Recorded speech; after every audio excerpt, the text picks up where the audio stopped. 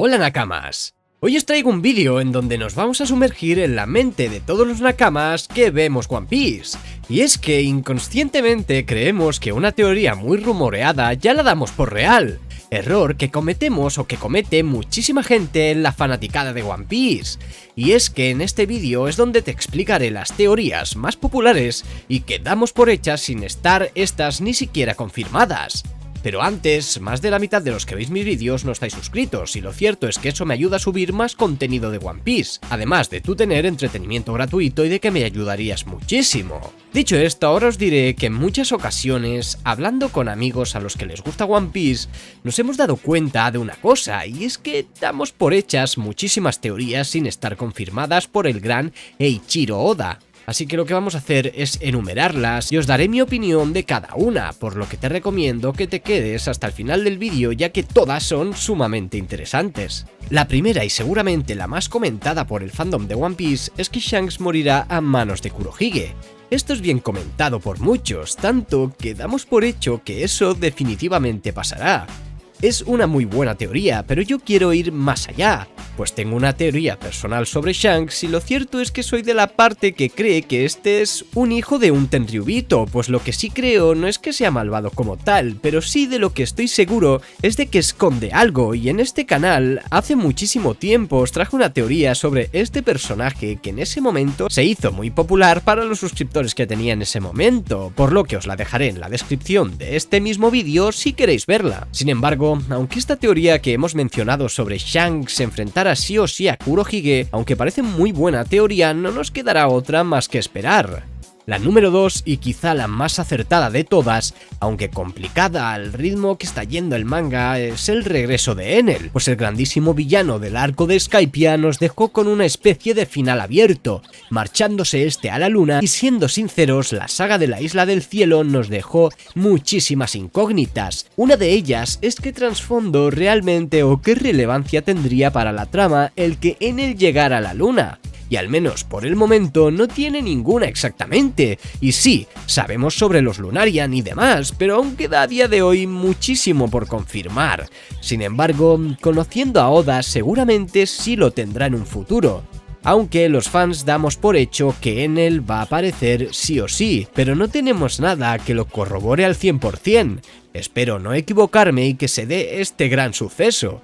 Yo creo que es algo que queremos muchísimos fanáticos de la serie y lo cierto es que sería bastante épico, pues no sería la primera vez que Oda trajera un villano anterior por algún motivo, y espero que en él no sea la excepción. La número 3 la damos por hecha sí o sí, tal cual, pues realmente no es una teoría, es algo que damos por hecho ya que la serie nos lo ha mostrado así, y es que Luffy derrotará al gobierno mundial, conseguirá unificar todos los mares y conseguirá ser el rey de los piratas consiguiendo el One Piece. Si bien es obvio que Luffy se convertirá en el rey de los piratas, no es algo que esté al 100% confirmado.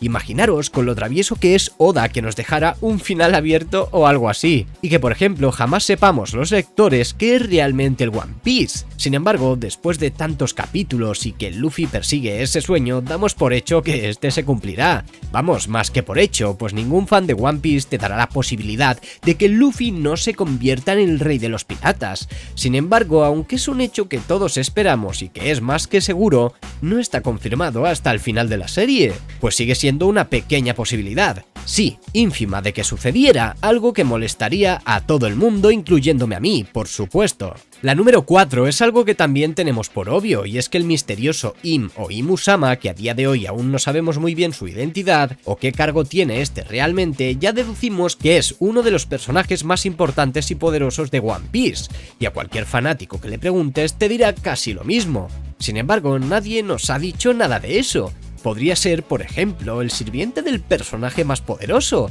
y quizá, y solo quizá, haya alguien por encima de Im, sin embargo, aunque yo descarto esa idea, sigue siendo posible, por lo que no nos quedará otra más que esperar y ver lo que sucede también. La número 5 trata de nuestro gran querido villano el grandísimo Kurohige. Esta teoría va enlazada un poco con la primera, y es que si damos por hecho que Shanks morirá a manos de Kurohige, Luffy tendrá que vengarlo y por lo tanto enfrentarse a la tripulación de este. Está claro que se tienen que enfrentar en algún momento, sin embargo, eso es lo que creemos, pero el problema es que la gente la da por hecho, sí o sí, de que será una venganza por lo de Shanks, y a raíz de esto Luffy tendría que acabar con este para finalmente colocar el sombrero en la tumba de su gran amigo Shanks, cosa que dudo bastante, para mí al menos, para mí, digo, la teoría que me quiero creer es que Shanks tiene muchísimo más trasfondo del que creemos, y que este de alguna manera nos sorprenderá en gran medida, pero de nuevo todo queda a pensamiento de cada uno. Sin embargo, lo que acabamos de comentar no deja de ser una teoría, pues mucha gente sin estar confirmada, como digo, la dan por hecha.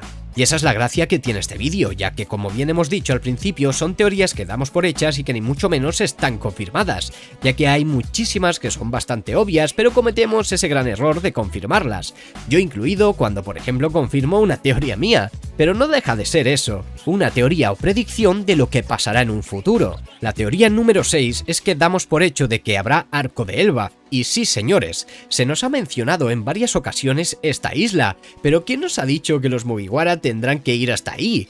De momento no hay nada confirmado, pero es otra de las teorías que damos por canon y que no están confirmadas, y si me preguntas a mí te diría lo mismo. ¿Habrá arco de Elbaf? Y yo te diría sí. Si no es así, los Mugiwara pasarán por ahí en algún momento, y te digo que sí. ¿Lo ves?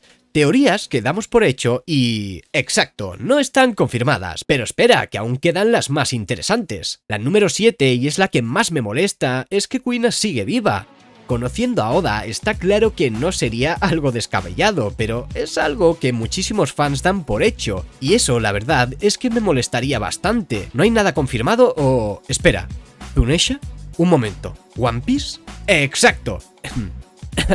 Perdón, a lo que íbamos. Pues sí, Nakamas, hay muchísima gente, más de lo que creéis, que esta teoría la da por confirmada. Y lo cierto es que a mí me fastidiaría muchísimo de que esto fuera así, por lo que espero con todas mis ganas que estos fans realmente se equivoquen, si no, solo haría que más muertes en One Piece no sucediesen, y lo cierto es que me molestaría muchísimo. La número 8, y que al menos por el momento a día de hoy, 27 de enero de 2022, es que Zoro tiene un pasado en Guano, o mejor dicho, su familia vive ahí. Y sí, señores, es una teoría que todos ocasionan casi todos dan por hecha, de que Zoro tiene su pasado en Guano. No es algo descabellado pensarlo, claro está, después de todo lo que nos han explicado sobre este y lo curiosamente que está relacionado con este sitio, pues algo de relación está claro que existe, aunque realmente poco sabemos por el momento, aparte de su parecido con Ryuma, la escuela donde aprendió a ser espadachín era proveniente de Guano, o mejor dicho, su sensei, y tantas otras cosas que nos han ido explicando a lo largo del manga, que no voy a decir para no hacer spoilers, sin embargo es algo que ya damos por hecho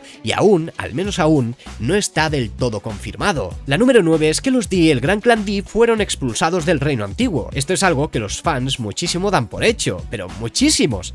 El hecho de que los D pertenecieran al reino antiguo y que estos fueran expulsados. Alguno incluso tomándose la libertad de que fue Him el que los expulsó, cuando ni mucho menos no hay absolutamente nada confirmado. Como ya he dicho en reiteradas ocasiones en este vídeo, es de hablar de teorías que la gente marca como canónicas sin haberlo todavía serlo. Y la última, y la más graciosa a día de hoy y sin que nos confirmes nada, es la teoría que yo mismo he comentado en este canal hablando de Zuneisha, diciendo que esta o tiene una fruta o es Urano o es Sim. Oh madre mía, esta semana han salido 1500 teorías sobre Zuneisha. Y lo cierto es que creo que todos, pero absolutamente todos, nos equivocamos con esto y ninguno tenemos razón. Y bueno Nakamas, hasta aquí el vídeo de hoy. Recuerda suscribirte para ayudarme a subir más contenido de este estilo. Quiero agradecer a los miembros del canal y ahora sí que sí, un saludo y hasta el próximo vídeo.